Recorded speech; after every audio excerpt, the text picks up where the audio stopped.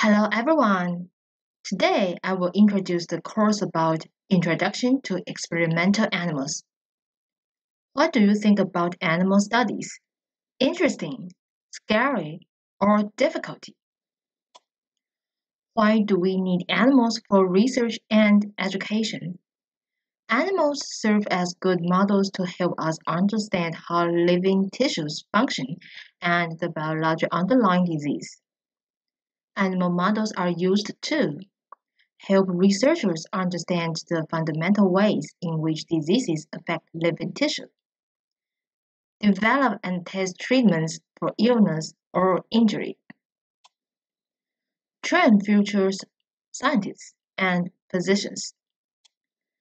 The learning objectives. Understand animal welfare, know basic facts of animal research such as refinement, reduction, and replacement. Explain why animal models are used.